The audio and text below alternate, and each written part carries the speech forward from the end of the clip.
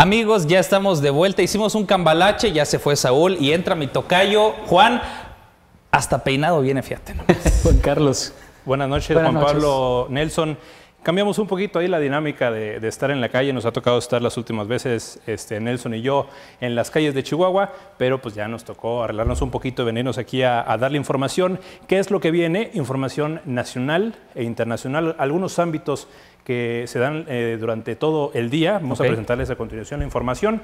Se trata de información que se generó por parte de Pemex. Esta dependencia eh, ha, informado que entre 2016 y 2019 detuvieron a 44 trabajadores, por lo que actualmente el sistema tecnológico se encuentra en riesgo. Escúchalo bien, Petróleos Mexicanos no descarta que personal de la propia empresa participe o pueda seguir operando no solo en el mercado ilícito de combustibles, sino también en los futuros ataques cibernéticos hacia su sistema informativo, debido a la negligencia o mala conducta de algunos empleados, así lo informó eh, la empresa eh, Pemex. En otra información, en redes sociales ha estado circulando un video que da cuenta de un interrogatorio dirigido por Tomás Cerón.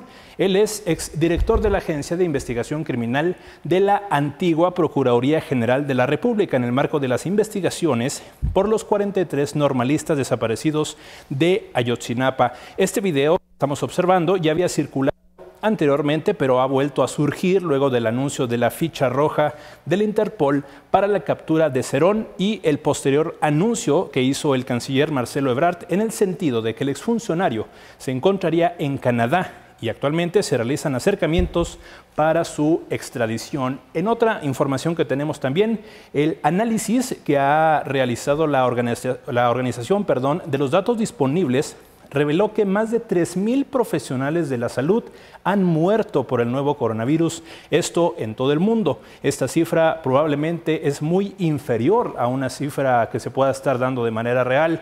En México han fallecido casi 250 profesionales de la salud.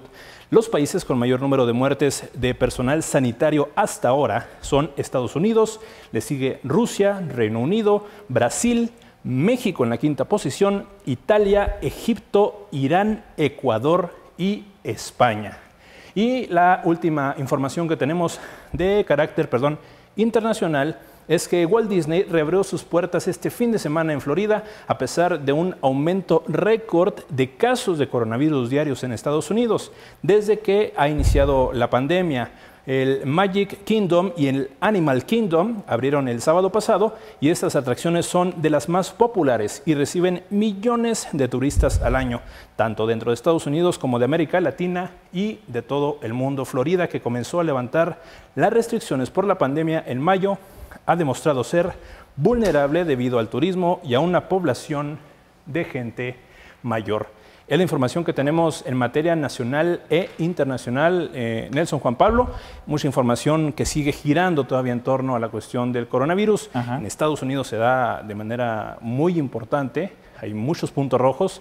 Estados Unidos sabemos que alguna, algunos estados, sobre todo de la costa este, eh, tienen bastante población de adultos mayores, es donde se está presentando un poco más el problema. Nueva York, precisamente Florida, donde se encuentra, vaya la redundancia, pues ahorita el, gobernador César Duarte ya detenido. Oye, regresando al tema este del personal de salud, imagínate, son, eh, me decías, 3 mil los las personas que han muerto en el mundo. Así es, que trabajan mil profesionales de la salud. Y, luego en México, 250. 250 profesionales. Y de esos 16 están aquí en Chihuahua y todavía hay personas que dicen que que no son héroes, están jugando la vida, Nelson. Totalmente. Importante toda la información porque debemos saber también qué está pasando fuera de nuestras fronteras. Algunas informaciones no tan buenas como por ejemplo la de salud, otra la de Walt Disney que ha sido muy criticada por las personas que dicen que no deberían abrir por supuesto este parque de diversión porque dicen que obviamente van a haber contagios eh, rápidos allí en los Estados Unidos. Gracias por toda la información que nos trae y esperemos que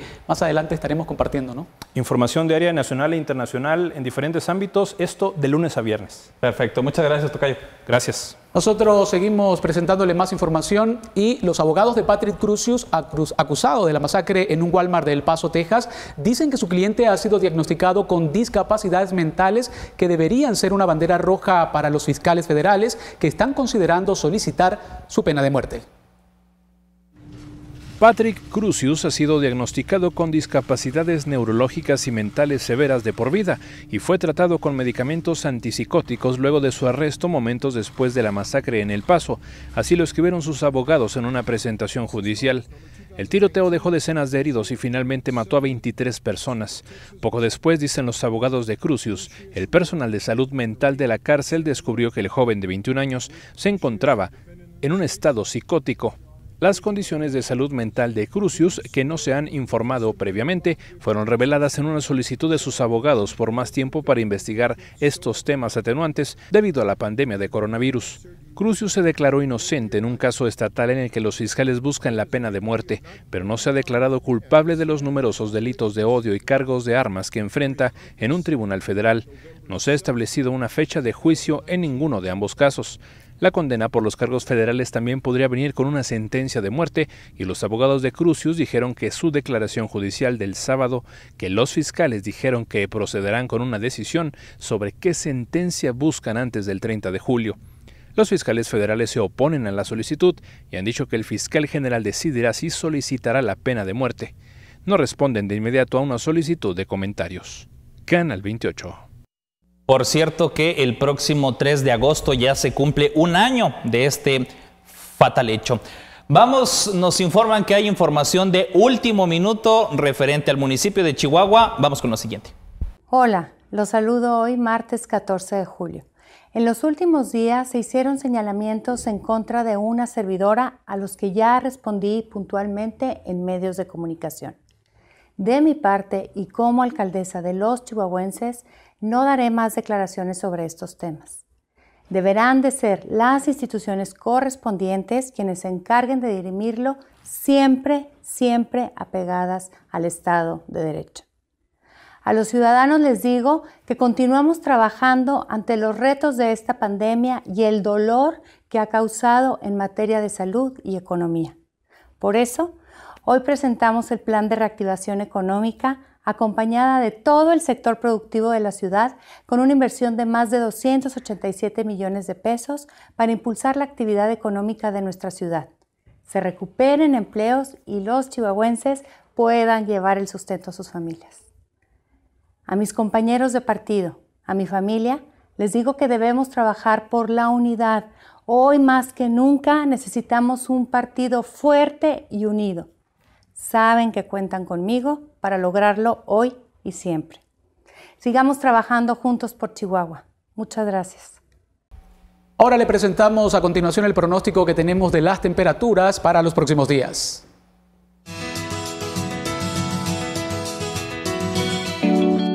El Servicio Meteorológico Nacional informa que un canal de baja presión prevalecerá sobre la Sierra Madre Occidental y centro del territorio nacional. Provocará chubascos y lluvias fuertes acompañado de actividad eléctrica, ráfagas de viento y posible granizo sobre entidades del noroeste, occidente y centro de la República Mexicana, con lluvias puntuales muy fuertes en zonas de Sonora y Chihuahua.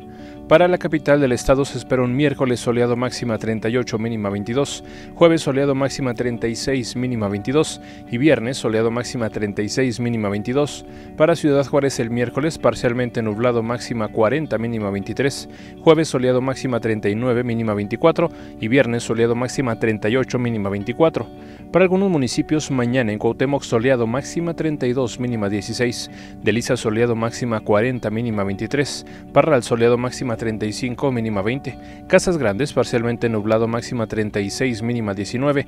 Urique, tormentas aisladas, máxima 37, mínima 24. Ojinaga, soleado, máxima 43, mínima 26. Jiménez, soleado, máxima 37, mínima 21. Y Camargo, soleado, máxima 37 y mínima de 20 grados.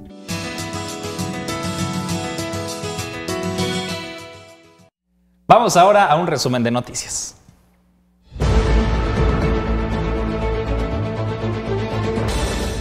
Un joven de cerca de 20 años cometió suicidio en la colonia Sierra Azul, asentamiento indígena en la capital. Al interior de su vivienda fue ubicado por la autoridad quien realizó las diligencias. Dos mascotas fueron rescatadas de la omisión de cuidados que los tenían en una vivienda abandonados desde marzo, según la denuncia. Inspectores verificaron que no tenían alimento y tampoco se les realizaba el aseo correspondiente. Dos mujeres fueron detenidas por omisión de cuidados en perjuicio de un niño de 7 años a quien golpeaban. Fue encontrado el menor luego de que su madre lo corrió. Al ser entrevistado narró el abuso del que era víctima. En la vialidad Chepe, en un terreno de Ferromex, se dio con restos óseos que estaban entre la maleza. La autoridad llegó al lugar para verificar la denuncia y las investigaciones determinarán de quién son.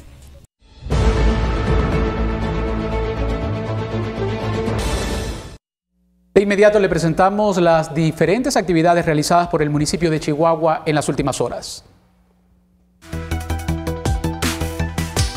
Durante el fin de semana, los elementos del heroico cuerpo de bomberos brindaron diversas atenciones de rescate en situaciones que se presentaron en diferentes puntos de la ciudad además de realizar recorridos en la presa Chihuahua para exhortar a los visitantes a no ingresar al agua y evitar posibles aglomeraciones y contagios por COVID-19. Es importante que los ciudadanos extremen precauciones y acaten las recomendaciones que emite la autoridad para evitar explosiones causadas por mal manejo de gas u otras sustancias flamables. Ante cualquier situación, dar aviso inmediato a la línea de emergencias 911. La construcción del paso superior sobre el periférico de la Juventud y Avenida Valle Escondido registra un avance del 65%, en la cual se incluyen los trabajos que iniciaron la semana pasada con la gasa de desincorporación. El gobierno municipal, por medio de la Dirección de Obras Públicas, agradece la paciencia de todos los ciudadanos a la hora de transitar por la zona de obra. Para proteger y brindar mejores condiciones de vida a la comunidad rarámuri, el gobierno municipal de Chihuahua realizó labores de desinfección en los espacios del asentamiento tarahumara El Oasis, donde conviven en confinamiento por la contingencia sanitaria, beneficiando de esta manera a más de 200 habitantes de este sector de la población. Bien, y de esta manera llegamos al final de la emisión de ABC Noticias por el día de hoy. A todos ustedes, como siempre, muchísimas gracias por habernos acompañado. Todo el equipo del Canal 28 le manda un fuerte abrazo y los esperamos por acá mañana.